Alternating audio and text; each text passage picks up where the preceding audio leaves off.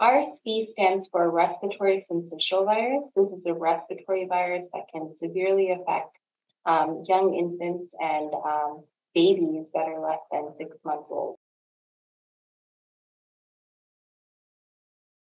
RSV in young babies can look like just, you know, poor feeding, um, a little bit more lethargic, working to breathe. Um, they can give you very subtle signs at first that they're starting to become in, in distress and having some trouble with breathing. Uh, RSV in babies may or may not include fever.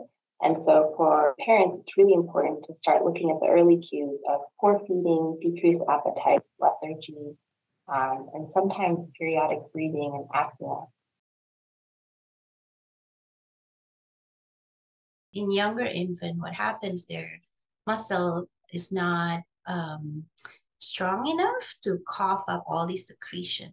They're almost like drowning in their secretion. Uh, we need to help them suction the airway, clear the airway for them. Like we do the job for them. Everything is supportive. Um, if a child needed suctioning, we clear their airway. As you may imagine, if infant is so stuffy, it's hard for them to feed. So they become dehydrated. So we have to support them with IV fluid. And from time to time, if they need oxygen, that's what uh, we provide uh, for them as well while in the hospital.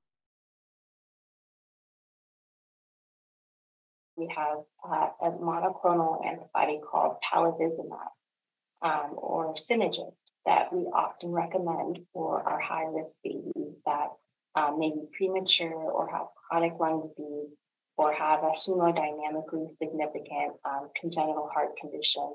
So it's important to talk to your provider and to um, figure out if your child falls into one of those categories and may be eligible for this monthly intramuscular monoclonal antibodies to protect them as we head into full on RSV season.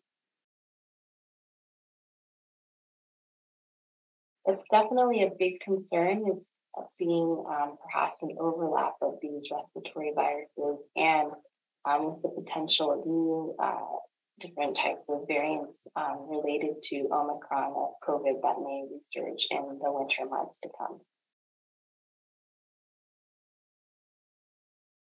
How parent prevent infection um, is hand hygiene. That's the best thing that you can do. Wash your hands. Um, maybe a bit more frequently. I, I would change clothing by the time you get to home. Say they, they go to their uh, preschool or to go to school before they touch their younger sibling to change their clothing because viruses stick into the um, surfaces and particularly RSV, they could stay in your clothing as well.